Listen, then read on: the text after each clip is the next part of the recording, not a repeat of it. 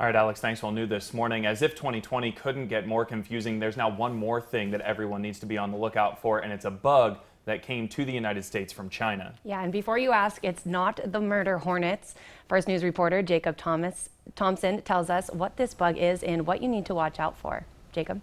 Yeah, guys, the bug we're talking about is the spotted lantern fly. And even though we haven't seen it in our area yet, it's traveled from Philadelphia and it's recently spotted in Beaver County. Now the bug goes through about seven life cycles. During this time of the year, experts are looking for small bugs, either a small black one or a slightly bigger one that's red with white spots.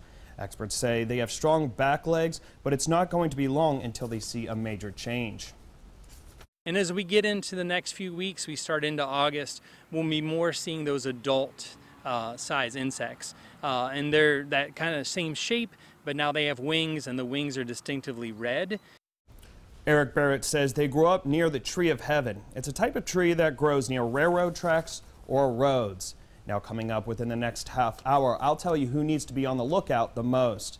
Live in the newsroom, Jacob Thompson, WKBN 27 First News.